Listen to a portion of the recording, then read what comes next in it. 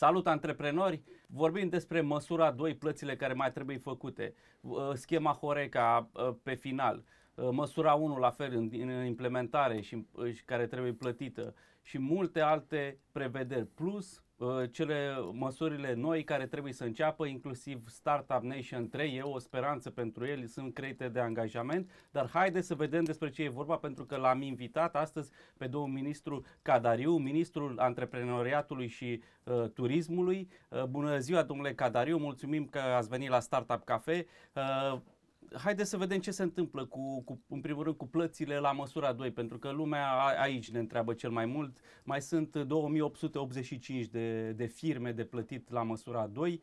Uh, sunt credite bugetare prevăzute, dar nu au început încă plățile. A, a trecut aproape o lună din anul 2022, din acest nou buget și oamenii așteaptă bănuții aceștia. În primul rând, bună ziua și vă mulțumesc pentru invitație intrând direct în subiect, într-adevăr, la măsura 2 uh, mai sunt aproximativ 2900 de firme care așteaptă uh, banii din uh, totalul celor aproape 17.000 admise la finanțare. În momentul în care am ajuns la minister am găsit următoarea situație și anume faptul că această măsură care a avut inițial 350 de milioane de euro a fost suplimentată cu încă 400 și ceva de milioane de euro în momentul în care s-a închis măsura 3 și banii tot n-au ajuns. Și atunci mai erau necesar de aproximativ 570 de milioane de lei pentru a închide complet măsura 2. Discutând în cursul lunii decembrie cu cei de la uh, Ministerul Fondurilor Europene, actualul uh, MIPE, am primit răspunsul că banii europeni nu mai există. Adică nici în POC, acea... nici în POC și în React EU uh, a fost povestea, știți, era în funcție de creștere economică. Pentru faptul că noi în 2021 am avut o creștere economică, uh, s-a diminuat suma repartizată României și atunci s-a rămas fără bani europeni, fără posibilitatea de a face aceste plăți. Ăsta a fost motivul pentru care atunci când uh, s-a negociat practic uh, între Ministerul și Ministerul de Finanțe uh, crearea sau cerințele pentru bugetul de stat, am cerut ca această sumă să fie repartizată din fonduri naționale. S-a acceptat lucrul acesta și avem banii prevăzuți în buget. Există în momentul de față o situație în care trebuie să facem o corecție legislativă. E ceva vis-a-vis de titlu bugetar în care au fost puși acești bani și de necesitatea unui act adițional a contractului inițial dintre uh, Ministerul uh, nostru și Ministerul Fondurilor Europene. Însă uh, sper, nu pot spune mai mult de atât, ca în cursul lunii februarie să închidem și această măsură.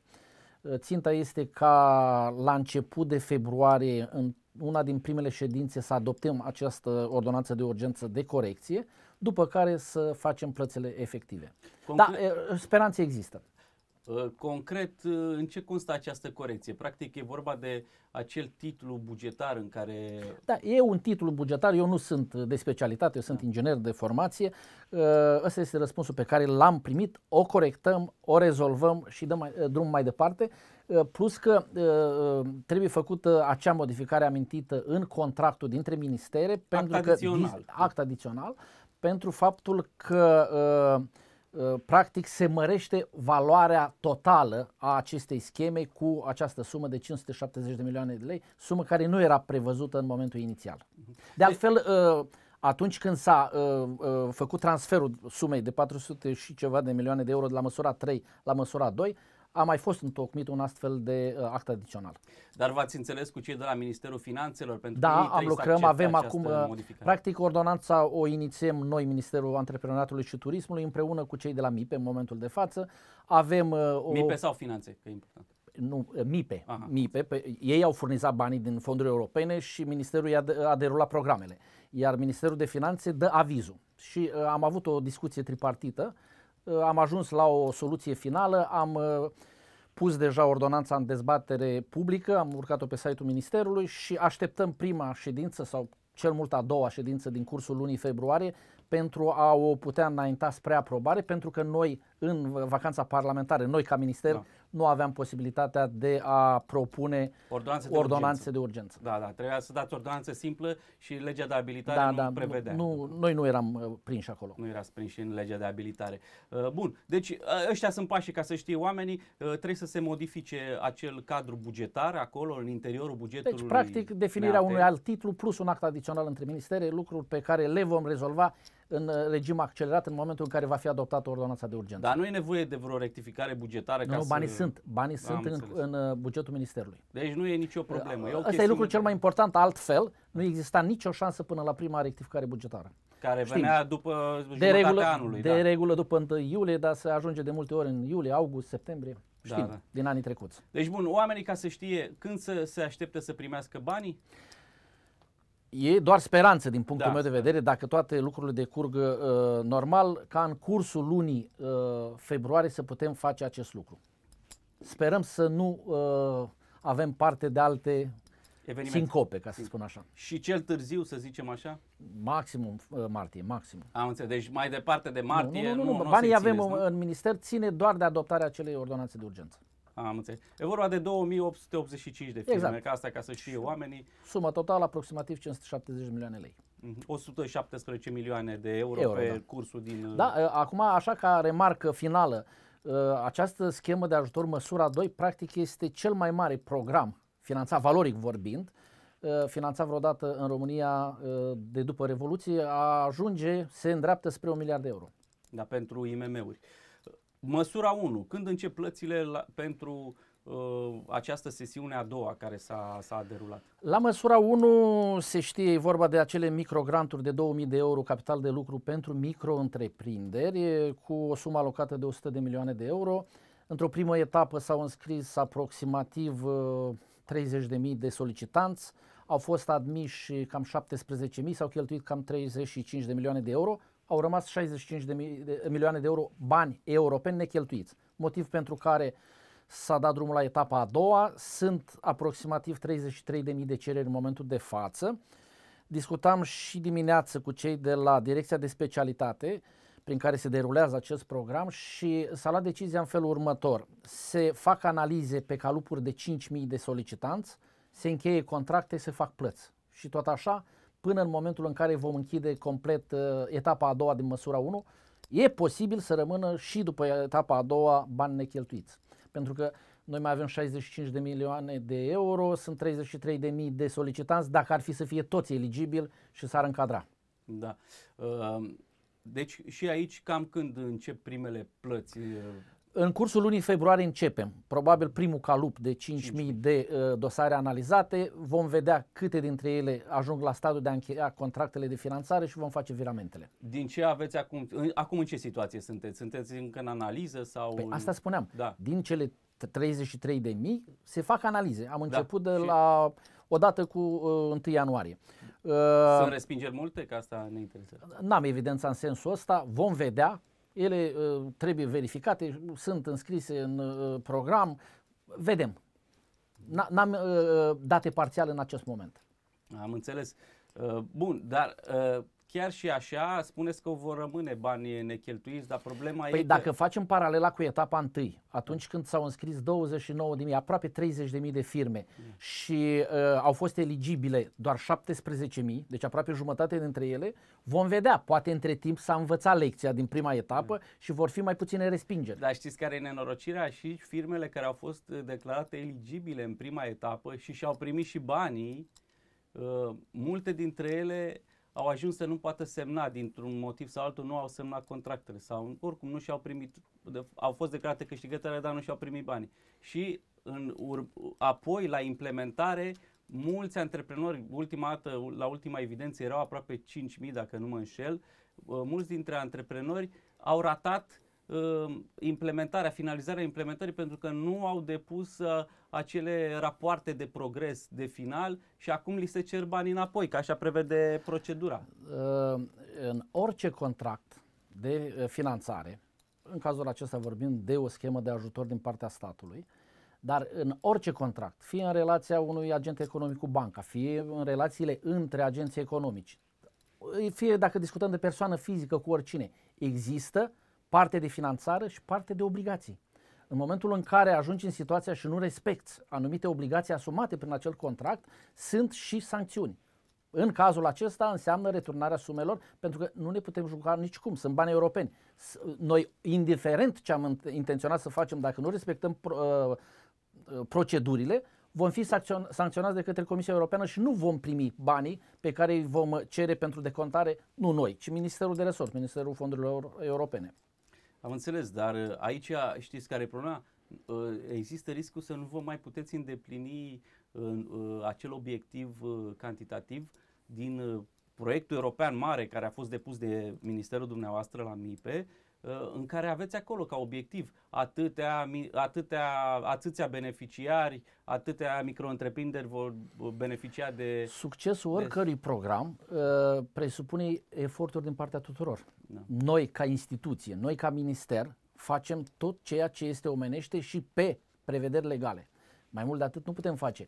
Uh, acolo unde sunt scăpări, pentru că spuneați dumneavoastră 5.000. În momentul de față, evidența mea spune că din cei 17.500, 3.900 nu au îndeplinit toate uh, obligațiile din contract și sunt, sunt nevoiți să ramburseze acei uh, bani, acei 2.000 da. de euro, pentru că așa s-au angajat. Deci 3900 sunt în, care în momentul să de dea, față, să dea bani în situația în asta suntem. Am înțeles. Uh, și o să rămână practic foarte mulți bani necheltuiți. Și odată prin Uh, de, de la bun început, pentru că nu s-au înscris suficient de mulți, nu au implementat suficient de mulți și mulți, acum spuneați, aproape 4.000 dau bani înapoi. Um, banii ăștia care rămân, ce faceți cu ei? Îi reintroduceți? În momentul în care vom avea evidența finală, după închiderea etapei a doua, pentru că în da. acest proces suntem și vom vedea ce bani echeltuiți sunt, vom discuta cu cei de la fonduri europene dacă mai, mai avem timp pentru o etapă a treia, pentru măsura 1, din uh, prevederile contractuale dintre ei și Comisia Europeană. Nu știu exact cum stau lucrurile acolo, ne vom interesa. Evident, dacă uh, va fi posibil, vom face o nouă etapă. Da, Ar fi păcat să pierdem aceste uh, uh, sume, pentru că până la urmă sunt decontate din bani europene. Da, cert că momentan cadrul temporar COVID al Uniunii Europene e până la 30 iunie 2022 prelungit. Deocamdată. Da, păi, da. Noi nu suntem izolați, suntem da. toți din Uniunea Europeană în aceeași situație. Suntem în plin val 5, toate țările sunt afectate. Eu sper că tocmai din acest motiv multe din lucruri se vor mai modifica și anumite termene, inclusiv cel despre care aminteați dumneavoastră, va putea fi prelungit. Bun. Schema Horeca, domnule ministru, ați anunțat că deja e pe, pe terminare, da? pe închidere. Așa este. Uh, schema de ajutor pentru cei care activează în partea de hotelul, restaurant, catering uh, a avut inițial o sumă de 2,5 miliarde uh, alocată, deși cerințele din partea celor din domeniu era inițială de apro- aproximativ 4 miliarde de lei. Uh, s-au înscris pentru uh, această schemă aproximativ 10.000, uh, 10.300 de uh, firme, sunt sau au fost eligibile 8.300. Uh, acolo s-a lucrat pe un principiu de prorată, adică dacă ar fi fost solicitanți care să cumuleze o sumă mai mare, se dădea procentual la toți. Pentru că suma solicitată a fost de doar 2,2 miliarde, mă refer la cei 8.300 declarații eligibili, Uh, prorata a fost de 100%. Atunci când am ajuns la minister în decembrie, în conturile ministerului era un miliard de lei pentru acest program, motiv pentru care am făcut o primă plată, așa numită rată, uh, prorată 1, uh, însemnând cam 46-47% din suma cuvenită fiecărui uh, beneficiar. Am solicitat atunci când am negociat bugetul, uh, diferența de bani, îi avem în uh, bugetul ministerului. Am uh, făcut deja pași, banii i-am solicitat finanțelor, l-am, uh, i-am trimis către agenții, agențiile către bănci. Urmează ca săptămâna viitoare, maximum două săptămâni, să fie încheiate plățile, iar schema Horeca să fie închisă. Ce aș vrea să remarc, în uh, situația dată, pentru cei care activează în domeniul turismului pe această componentă, practic asistăm la o infuzie de capital, chiar dacă discutăm de sume plătite cu întârziere pentru activități afectate de pandemie în cursul anului 2020, pentru momentul decembrie 2021 și ianuarie-februarie 2022 reprezintă un moment de infuzie de capital în acest sector. Pentru Dou- cine a mai rămas în picioare. Eu vorbesc ca sumă totală Da. pentru cei 8300 de beneficiari. Dar discutăm totuși de 200 de milioane de euro în decembrie și 200 și ceva de milioane de euro în început de an 2022. Nu zic că e suficient, nu, zi- nu zic că nu e târziu, dar e o realitate. E un alt efort din partea statului pentru a susține pe cât posibil acest domeniu pe care ministerul nostru îl gestionează. Mă refer la IMM-uri în general și la turism în special. Uh, Așa, peripeții ce ați avut, ce ați găsit în, uh, în, în uh, schema Horeca? Am văzut că a fost și ace- acel termen de 10 zile prevăzut în uh, procedură pentru semnarea contractelor și mă uitam că erau uh, aproximativ uh, 8936, dacă mi-aduc bine aminte, uh, admiși la finanțare, dar acum am văzut că sunt 8294 Păi, Are în legătură finanțare. cu cealaltă discuție a noastră, în legătură cu măsura de sprijin uh, 1. E vorba de interesul beneficiarilor, a cei care au fost uh, interesați, care au urmărit ghidurile, care s-au uitat în contracte și au îndeplinit toate condițiile, au beneficiat, alții au pierdut această șansă. Noi nu putem interveni pentru că sunt uh, instituții care ne verifică și internet, dacă ne referim la Curtea de Conturi, dar vine dacă vorbim de bani europeni și auditul uh, Uniunii Europene, deci nu ne putem juca. Mhm. Dar pentru ei nu se mai E face. păcat, Da, e păcat. Nici, Retroactiv în niciun caz. nici, nici la măsura 1, nici la schema Horeca. În spun niciun eu. caz retroactiv. Și orice altă modificare ai vrea să o faci din punct de vedere leg- legislativ, știm foarte bine, principiul de drept lucrează din acel moment pentru viitor, nici de cum pentru trecut. Bun. Uh, Da, lucrează pentru viitor, dar ați văzut că la Startup Nation numărul 2, deci 2018, ei au pornit cu o ordonanță, da, și cu o lege aprobată în Parlament. Ulterior, după ce au fost selectați oamenii la finanțare, mulți au primit bănuții, s-a apucat de implementare. Ulterior, în 2020, în anul 2020, uh, a venit Parlamentul cu o lege Practic, legea prin care s-a Da. adoptat Da. ordonanța de urgență. Uh, Au, au fost niște amendamente acolo. Exact. A fost un amendament, dacă nu mă înșel, depus de fostul uh, ministru Oprea, Așa am înțeles, da. da? Uh, potrivit căruia uh, cei care au vândut firmele uh, declarate câștigătoare, uh, ei trebuie să dea banii înapoi, nu? Ei nu pot să... Cei care au vândut mai mult de, 51, pat- de, da, 50, de 49% din firmă. Da. Uh, E o modificare legislativă, noi ce putem face decât să o punem în aplicare? Bun, deci practic cei care... a- ai- Aici sunt cazurile... Sunt puține cazuri, nu sunt multe, sunt puține cazuri. În fond și la urma urmei, haideți să discutăm și să judecăm lucrurile altfel. Uh, Startup Nation reprezintă un program de ajutor al statului pentru cei aflați la început de drum. Da. Păi te aștepți ca cel care e la început de drum să continuă, Da. să fie un uh, prim imbold din partea cuiva, în cazul acesta sta, statul, iar el să dezvolte uh, business-ul. Ori dacă primul tău gând este după ce ai obținut o, o finanțare să-l vinzi, Da, n-aș vrea practic să- scopul inițial nu prea mai e atins. Da, nu- n-aș vrea să mă înțelegeți greșit. Nu, nu le iau părarea celor care fac speculă Da, sunt, cu proiecte. sunt situații și Da. situații, da. Comerțul cu proiecte nici noi la Startup Cafe nu l-am încurajat. Dar g- gândiți-vă că a venit criza aceasta COVID în care foarte multe firme n-au mai putut funcționa și în special Horeca, uh, s- uh, mă rog, saloane de înfrumusețare, frizerii. Uh, A venit criza COVID și atunci poate oamenii nu mai puteau funcționa, nu și mai puteau îndeplini obligațiile și au vândut. Uh, uh, omenește vorbim pot să înțeleg, dar din punct de vedere legal nu ai de ales. Da? Apropo, mi-am amintit de un lucru, inclusiv Startup Nation ediția a doua l-am închis tot noi când am ajuns acolo, pentru că în decembrie mai erau aproximativ uh, 200 de firme neplătite, aproximativ 40 de milioane de lei, inclusiv uh, ca să spun așa, acest jalon l-am atins în uh, răstimpul ăsta de scutul de scurt, de doar două luni de când am început activitatea, ca nou minister. Deci s-au plătit bănuții ultimii? Da, da, da, am închis complet uh, Startup Nation ediția a doua. Am înțeles, asta e. Uh, și acum câți, practic, câți beneficiari sunt pe Păi toate- în momentul de față, am notat aici, dacă îmi permiteți să Da, mă uit, da. în momentul de față din cele aproximativ 30.000 de solicitări, au fost contracte semnate pentru 8.900 și au închis programul 8.100 de firme. În, uh, cu ce am discutat uh, și am spus adineauri în, luna, în cursul lunii decembrie. Și din astea 1000 o- 8100, unii trebuie să dea bani înapoi, pentru că nu și-au nu au trecut Rămâne de văzut. Bun, mai există riscuri pentru că uh, acest program are o perioadă de monitorizare. Asta. Adică pentru ce înseamnă păstrarea locurilor de muncă o perioadă, perioadă de monitorizare de 2 ani de zile, iar pentru ce înseamnă achiziții de echipamente 3 ani de zile. Adică trebuie să facă dovada că respectă prevederile din contractele de finanțare până la urmă. Deja au început, eu am, eu am primit la Startup Cafe, noi am primit uh, mesaje de la beneficiari care se plâng că li se cer acum, au început să li se ceară banii înapoi. Prin, prin decembrie plângeri deja sunt, le cereau banii înapoi. Plângeri pot fi. Uh, întrebarea de bază e următoarea. E plângere justificată? Are la bază o prevedere legală? Da. da. Uh, uh, orice reprezentant al statului care face o verificare sau care pune în aplicare un, un, un program are obligația să urmărească uh, respectarea legii și a prevederilor din contract. Pentru că, invers, dacă n-ar face-o, atunci când vine un organism de control, uh, au uh, parte de răspundere toți, și privatul și angajatul de la stat. Deci e un lucru, e un lucru necesar. E uh, păcat pentru uh, acele cazuri în care oamenii sunt nevoiți să dea bani înapoi, dar regula e regulă.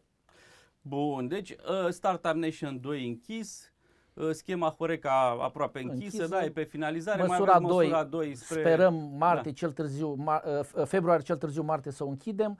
Uh, măsura, măsura 1. 1 de asemenea sperăm undeva prin aprilie să o putem închide pentru că totuși discutăm de 33.000 de dosare pe care trebuie să le analizăm, da. Uh, așa ca o paranteză de moment, o imagine de moment.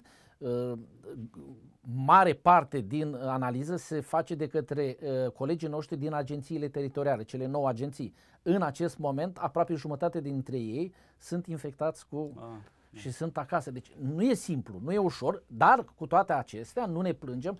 E una din direcțiile, e una din direcțiile din acest așa. minister care a lucrat enorm în ăștia aproape 2 ani da, de zile, da, mai ales cu aceste scheme de ajutor, 10 de mii. Și au lucrat de dimineață până seara și chiar și cu aceste, cum să spun eu, până la urmă un soi de rateuri semnalate de către dumneavoastră. Eu vorbesc raportate la programe, la scheme de ajutor, au lucrat enorm și încă lucrează enorm și trebuie să conștientizăm noi cu toții că uh, urmează ani de zile de monitorizare pentru toți beneficiarii. Exista o evidență, inclusiv cu cele aproape 30.000 de dosare depuse pentru măsura 3, cea care s-a blocat, această direcție a gestionat până acum peste 120.000 de dosare în răstim de un an și ceva, da. cu doar 100 uh, și ceva de oameni. Nu e simplu. Nu, e, nu este nu e simplu. simplu. E, e, și, e un uh, aparat sub, uh, sub uh, finanțat și sub... Nedrept mi se pare următorul lucru. Există acea lege, am vrut să o definez cumva, dar mă abțin, 153, care nouă ca minister nu ne dă posibilitatea să le mărim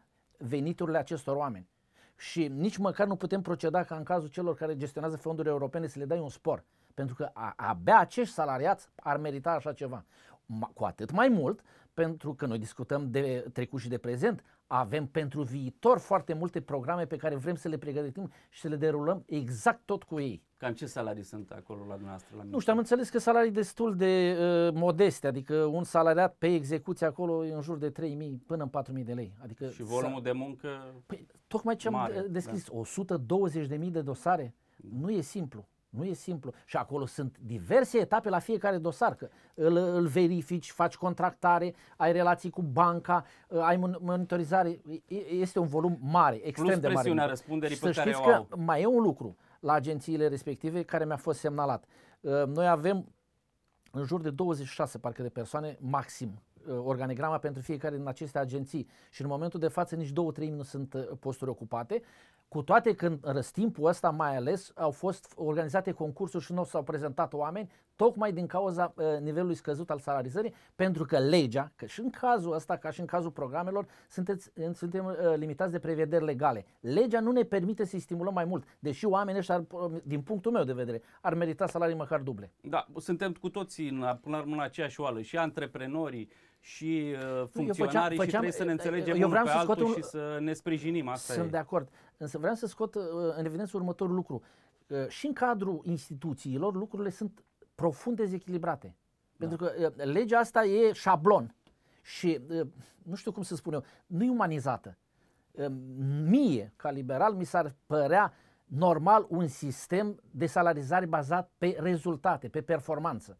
Că dacă le pui salarizarea doar pe funcții, nu toți au același volum de muncă, chit că au aceeași funcție. plus că e disproporționat, uh, domnul ministru, sunt salarii disproporționate. Sunt foarte mulți uh, oameni în uh, aparatul de stat care își iau banii cam degeaba pe acolo, implantați politic de către nu dumneavoastră, politicienii să, și partidele nu care sunt eu măsură la, să fac judecata putere. în momentul de față, nu că uh, iar alții trebuie să tragă mai mult. Nu, iar alții trebuie să tragă mai mult și trebuie să tragă și pentru cei exact, care stau degeaba. Lucrul ăsta spunem. Și uh, culmea tot ăia care muncesc, care, fa, uh, care fac munca dublă, sunt plătiți și mai proști și tot în ei se dă cu biciu. Că vorba aia, dai nu, în calul din care punctul trage. meu de vedere, cel puțin pentru acești colegi de la această direcție, tot respectul și în niciun caz nu avem de a da cu biciu. Ci din contră să vedem dacă găsim vreo soluție legală pentru a-i stimula evident, din punct de vedere material, în primul rând. Și altfel, cu ce să-i poți stimula? Cu zile libere. Ori noi tocmai ce avem nevoie de ei, că puțin și avem de, în intenție să derulăm și alte programe.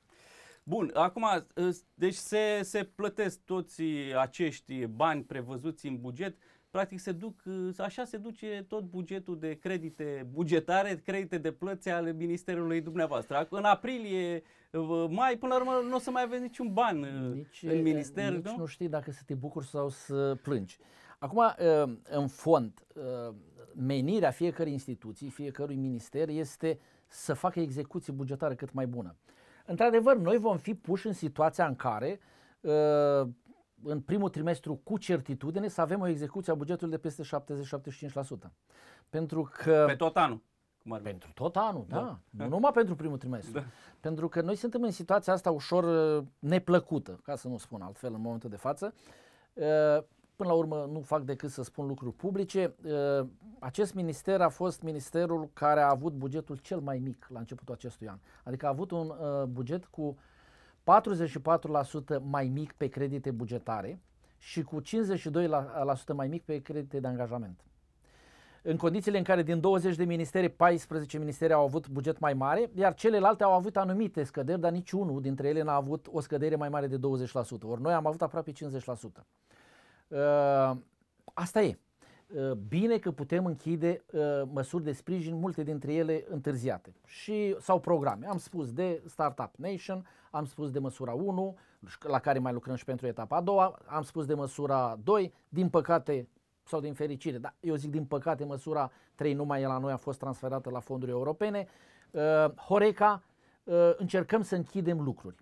Dar, evident, ne dorim și un sprijin suplimentar pentru mediul de afaceri de aici încolo. Da. Și aici ajung la partea de proiecții, de programe pe care ne, ni le propunem pentru anul 2022 Am și nu 12 numai. programe. În Ele în fond nu sunt 12 programe, acolo așa a apărut o definire a lor de către cei de la finanțe, sunt două, dacă vreți, 12 direcții de acțiune, alea nu sunt programe toate. Uh-huh. Pentru că avem acolo incluse, așa ca și cum ar fi programe, uh, activitățile de participare la târguri, de da. turism sau de uh, internaționalizare. Comerț. Da. Internaționalizare, nu, da. uh, uh, promovare externă. Da. Discutăm, dacă doriți ceva mai încolo, și de acel program de internaționalizare. Dar, oricum, sunt acțiuni pe care ni le propunem. Și dacă tot am ajuns la uh, acest stadiu al discuției, aș remarca următorul lucru. Uh, în cursul anului 2021, balanța comercială a României nu stă deloc grozav. Știm, avem un deficit comercial de peste 20 de miliarde de euro. Avem importuri multe, Aproape nu? 93 parcă, sau 95 de milioane de euro importuri, 73 exporturi. Deci avem un deficit al balanței comerciale de aproape 22 de miliarde de euro. Asta înseamnă un deficit de mai mult de un miliard jumătate de euro pe lună. Uh, e foarte posibil, vom vedea când uh, vor veni uh, evidențele de la statistică, e foarte posibil ca unul din motivele pentru care s-a întâmplat acest lucru să fie și faptul că nu s-au mai participat la târguri de promovare externă, nici în ceea ce privește turismul, nici în ceea ce privește activitatea industrială, economică. Pentru că în anul 2020 aproape toate târgurile s-au oprit, nu s-au, s-au mai organizat din cauza uh, startului pandemic, da?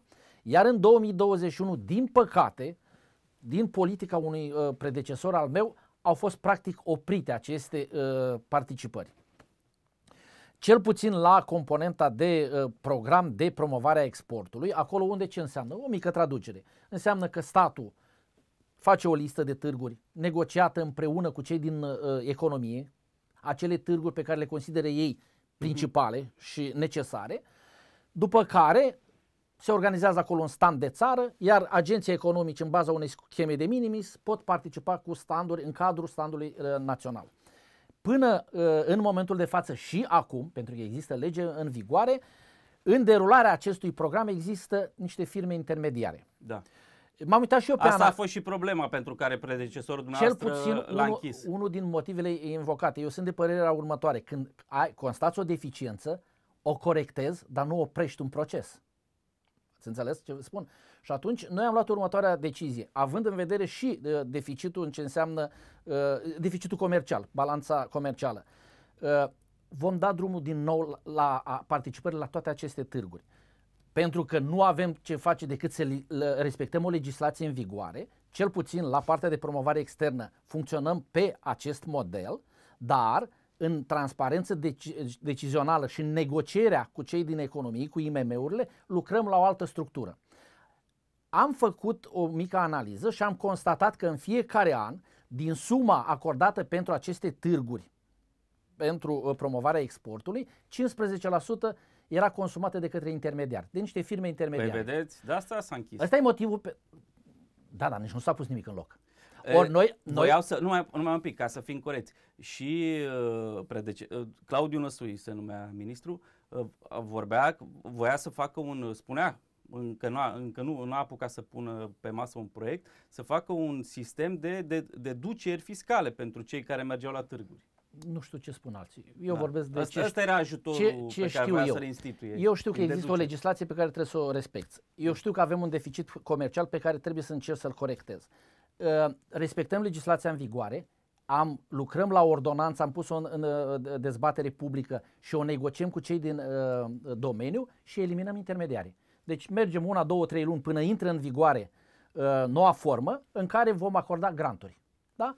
Direct la beneficiari și fără intermediari.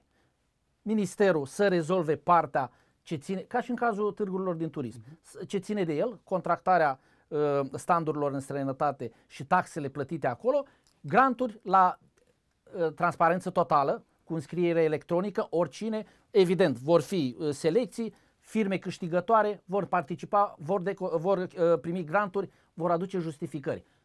Ca și în cazul celorlalte programe, unde nu sunt corecte legal, vor da bani înapoi.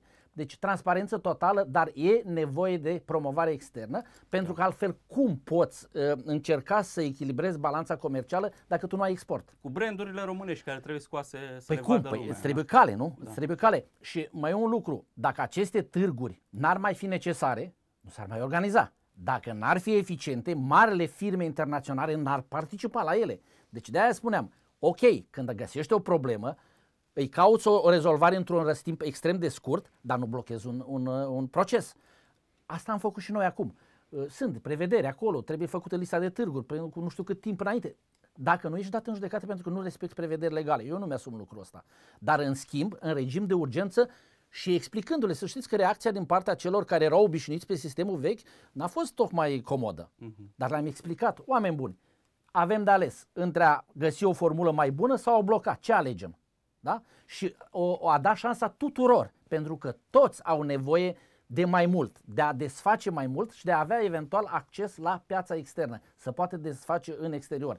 Una din căi o reprezintă și promovarea prin participarea la astfel de târguri. Deci acesta e programul pentru, uh, cum se numește programul? Acum uh, programul se va numi tot promovare uh, Export. pe, uh, la export, pe promovare externă, dar acolo facem și niște corecții și introducem două elemente noi.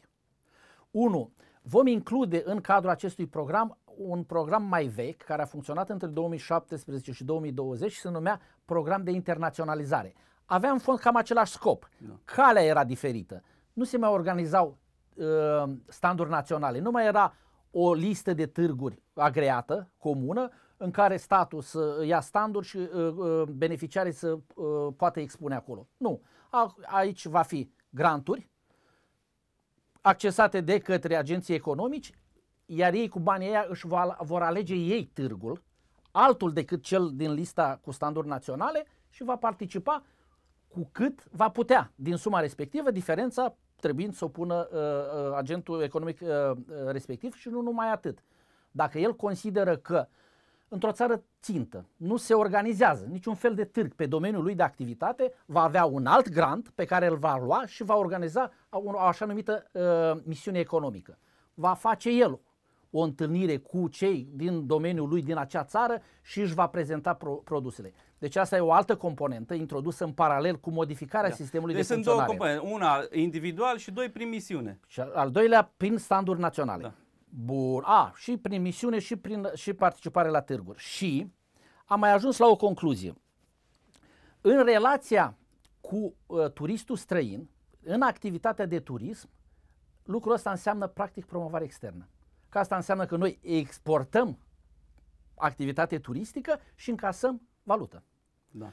Ei, una din metode de a atenua deficitul ăsta pentru balanța comercială îl poate reprezenta și acest aspect. Motiv pentru care uh, intenționăm în cursul acestui an să derulăm un program pentru a stimula incoming-ul.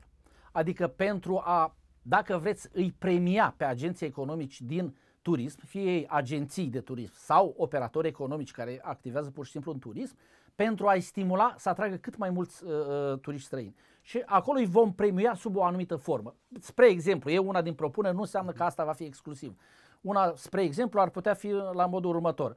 Ai un turist străin cazat la tine, dacă stă minimum 4 nopți, statul îți va da jumătate din prima noapte de cazare.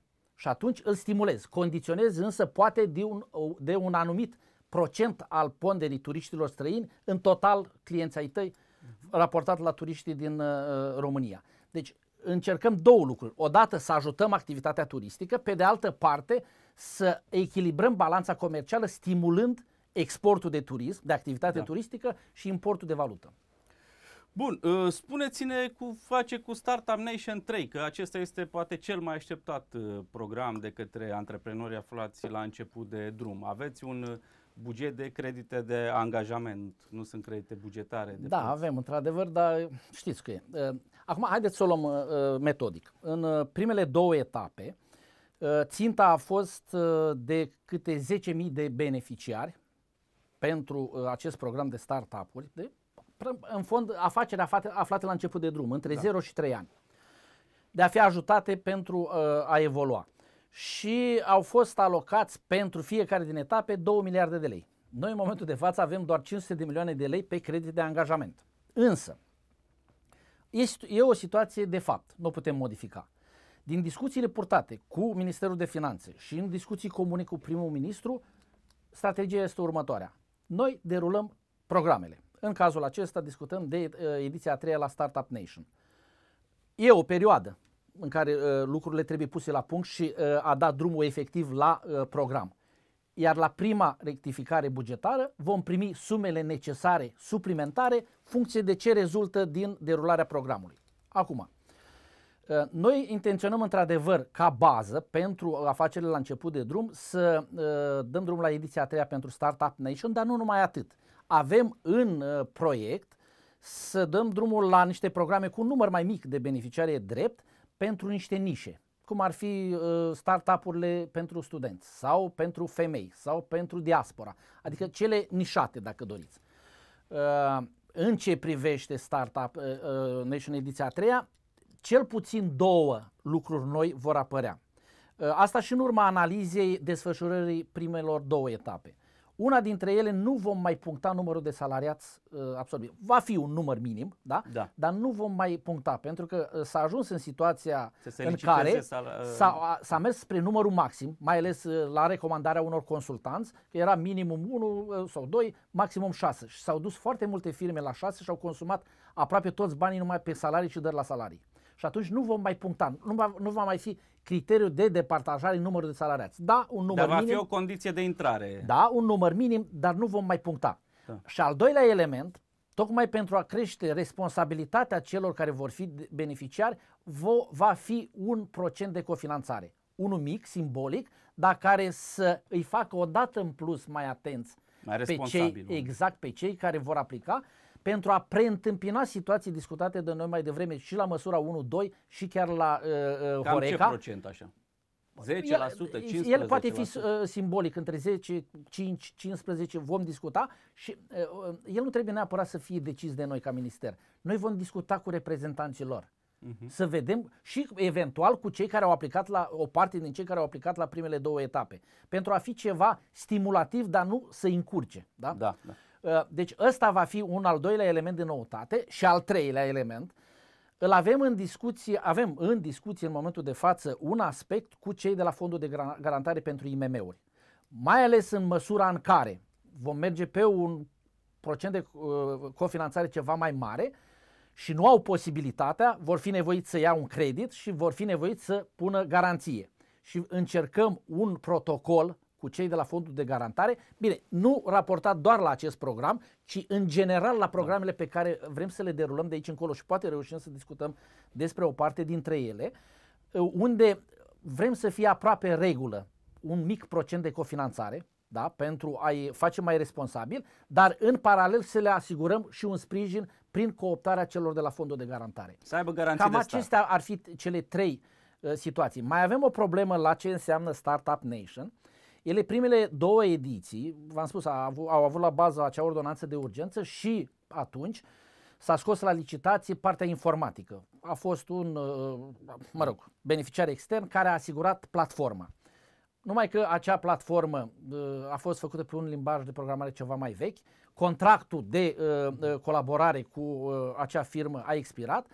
Acesta este motivul pentru care am judecat în felul următor. Nu mai cheltuim nici bani și nici timp pentru a încerca o nouă achiziție publică.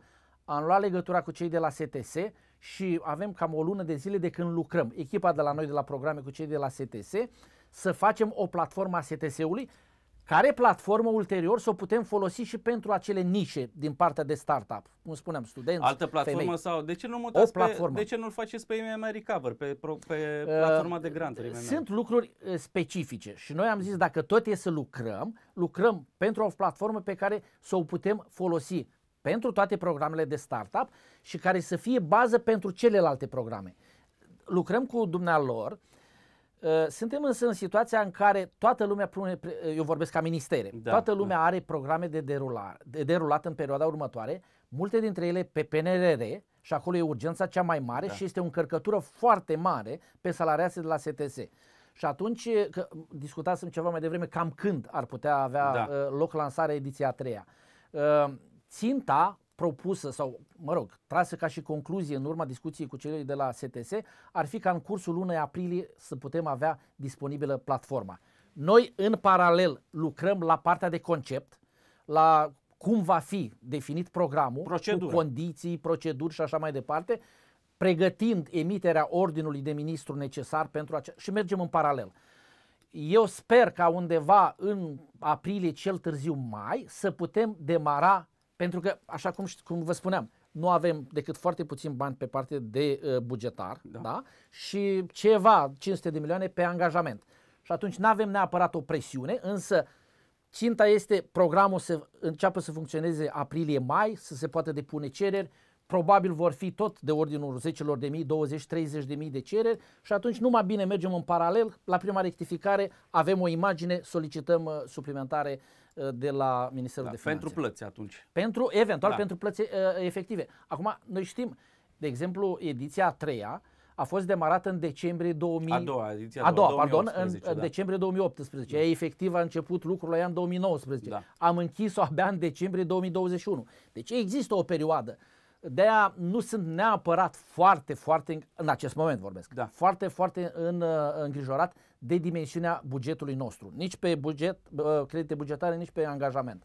Însă avem în schimb o responsabilitate și încercăm, de aia spuneam că sunt îngrijorat cum Dumnezeu am putea să-i stimulăm pe cei de la Direcția de Programe și Ajutor de Stat de acolo, care lucrează efectiv la programe, ca să le pregătim. Da. Și noi, în paralel, când vine prima rectificare, să putem solicita sume suplimentare. Valoarea grantului va rămâne tot așa, 200.000 de lei? la Startup Nation? Așa, tot asta este ținta. Aceasta este ținta.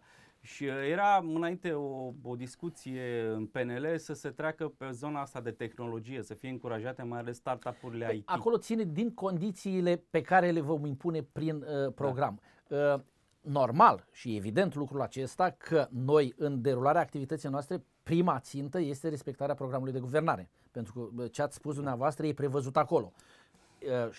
Al doilea lucru, trebuie să vedem ca atunci când propunem un program, el chiar să fie util, să fie așteptat de cei din piață. Nu ce ne dorim noi așa din uh, niște da. fotolii de la minister. Colaborare. Și apropo de lucrul ăsta, uh, când am ajuns în decembrie la minister, am găsit un minister închis. Dacă vreți, un minister, poate exagerez, în stare de război. Uh, din păcate, compartimentele între ele, dar mai ales raportate la conducere și, din păcate, raportate și la exterior, la cei din mediul de afaceri. Uh, am avut deschidere totală, în primul rând în comunicarea cu cei din minister. Uh, acum lucrăm, încă, așa ca o paranteză, încă nu suntem înființați definitiv ca minister. În momentul de față sunt doar trei salariați, eu, un secretar general și un secretar general adjunct. Suntem în proces. Restul sunt la Ministerul Economiei, nu? La, la mamă. Deocamdată până vom face protocolul efectiv de predare-primire și acum așteptăm avizul de la Agenția Națională a Funcționarilor Publici. Sper că în maximum 2-3 săptămâni să funcționăm pe deplin. Dar, le-am spus următorul lucru, oameni buni, dacă dumneavoastră considerați că actuala structură organizatorică internă nu se pliază pe necesități pentru a funcționa pe deplin în sprijinul mediului de afaceri, aveți mână liberă din punctul meu de vedere. Cum credeți? Propuneți, argumentați și eu sunt de acord și le-am dat mână liberă. Uh, am structurat uh, componența Ministerului conform experienței lor din trecut. Cum e mai bine? Am spus în schimb următorul lucru. În schimb, în momentul în care trecem efectiv la lucru, nu vreau să aflu și nu vreau să admit că nu putem funcționa sau nu putem pune în, ă, în derulare un program pentru că organizatoric ceva nu funcționează. Aveți mână liberă, dar aveți și responsabilitate. În afară de lucrul ăsta, imediat atunci ce am ajuns acolo, am, am deschis ministerul la tot ce înseamnă comunicare, cu IMM-uri, cu turism, cu uh, export, cu orice. Și am impus următorul lucru. În fiecare lună, a doua săptămână, marțea, de la ora 12 întâlnire la liber cu toți cei din turism, de la ora 14 întâlnire cu cei de la IMM-uri. Fie pe teme solicitate de noi, fie pe teme solicitate de dumnealor, fie și de unii și de ceilalți. Deschidere totală, întâlniri în afara celor uh, legale, cu acele consilii de export, cu, da. comitete, comisii de colaborare cu turismul deschidere totală, revenind de unde am plecat. Rostul acestor programe este să ajute mediul de afaceri, dar așa cum cred ei că, pot, că pot fi ajutați, nu așa cum visăm noi din niște birouri. Da. Deci trebuie comunicare în așa ceva și dacă lucrurile astea se vor întâmpla în paralel, vom derula multe, vom putea solicita bani și ne vor fi dați pentru că vom dovedi că putem, iar rateuri, ca acele amintite dumneavoastră la început de discuție, să fie cât mai puține procentual să fie multă, foarte multă informare publică, inclusiv pentru potențialii beneficiari a acestor programe. Mai sunt uh, să zic așa, niște scheme tradiționale în Ministerul Antreprenoriatului. Una este microindustrializarea cu maxim 100.000 de euro care se dădeau pentru mici fabricuțe. A doua era comerț, uh, programul comerț. Într-adevăr, au fost niște uh, programe de, uh, dacă vreți, accelerarea unor uh, business-uri mai vechi, da. nu a celor la început de drum, până în 3 ani de da, zile. Da, da. Și mai plecau, și eu zic corect, de la niște realități din piață. Multe din activitățile uh, industriale, dacă vreți, de mică învergură, au dispărut. Fie că ele se desfășurau în cadrul cooperațiilor, meșteșugărești, fie că erau mici întreprinderi. Multe dintre ele s-au desființat pentru că n-au mai avut putere să reziste în concurență, fie au fost înghițite de firme mai mari. Fie pur și simplu sau de, și atunci aici suferim. Uh, și ăsta este unul din motivele pentru care avem foarte multe importuri, apropo de uh, uh, da. deficitul pe balanța comercială.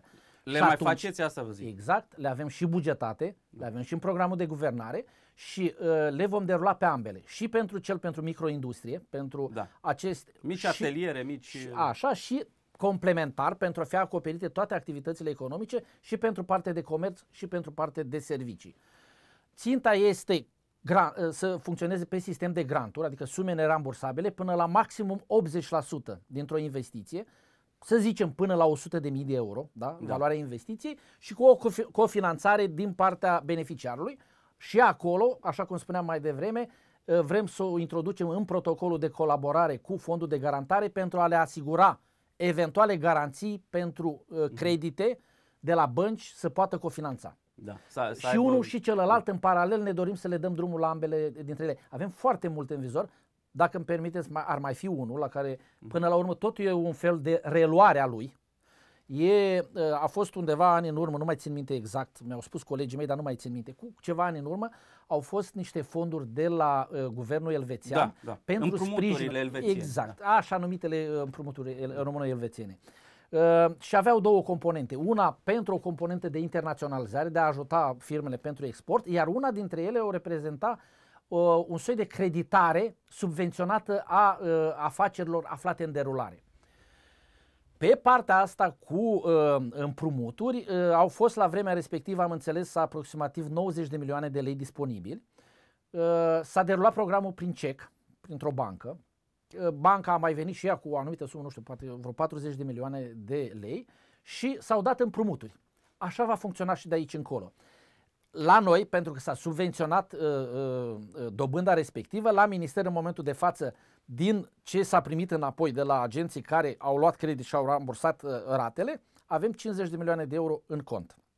Motiv pentru care Euro sau lei, pardon? Lei, lei, A, lei 50 lei. de milioane de lei, lei în cont. Motiv pentru care vrem să refacem acest program și să-l punem în funcțiune în cursul acestui an, reprezentând credite cu dobândă subvenționate pentru a accelera afaceri în curs de derulare, pentru a, a cei agenții economici care nu au acces la sistemul de creditare prin bănci.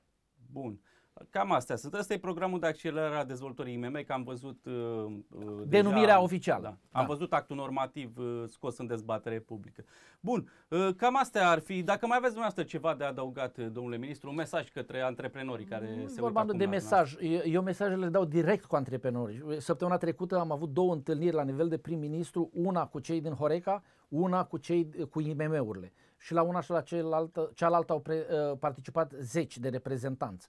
Ehm, acolo trebuie să ducem informația și de acolo extragem problemele. Noi am discutat aici și acum probleme mari, generale, programe și așa mai departe, dar să știți că din discuțiile cu dumnealor, dar mai ales din acele discuții pe care le-am avut în teritoriu, că am avut o întâlnire la mine acasă în Bucovina, la Dorna, la Vatra Dornei, da. una la Constanța, una la Brașov și îmi doresc în perioada următoare să merg și în alte, da, în, mai ales după ce reușim, noi ca echipă de la minister, să lansăm aceste programe, să avem discuții în teritoriu. Să știți că de la aceste discuții apar nenumărate probleme care pot fi uh, rezolvate fie prin modificări legislative, fie prin anumite corecții. Aș putea da niște exemple, nu știu dacă mai avem timp. Vă rog, uh, câteva vă... exemple care pot părea la prima vedere neimportante, dar pentru ei, pentru fiecare luat în parte, sunt extrem de importante. În una din discuții se spunea în felul următor, domnule, noi, Dan, facem turism, avem o da. dezvoltare cât o om avea-o, avem practic o restanță din punct de vedere oficial a Ministerului că nu s-a reușit o promovare unitară a destinației România, trebuie să o recunoaștem după da. 30 de ani. Discutăm acolo, nu știu, n-am apucat să discutăm de OMD-uri, Organizație de Management a Destinațiilor, dumneavoastră veți decide cât stăm în discuții. Eu aș avea multe de spus. Rău, da. uh, însă, spre exemplu, din turism, spuneam în felul următor, domnule, noi fiecare ne-am dezvoltat cum am putut în zonele noastre, însă avem o mare problemă, nu avem autostrăzi. Motiv pentru care atunci când e sezon, dar nu numai, fie că discuți de litoral în sezonul estival, fie că discuți de Valea Prahovei, fie că discuți de Bucovina, Maramureș, e blocaj pe drumuri. Și atunci solicităm și noi următorul lucru. Domnule, în toată Europa, Europa aia dezvoltată în care rețelele de autostrăzi sunt imense, începând de sâmbătă la prânz și până duminică la ora 24, circulația celor care transport, transportă marfă este interzisă.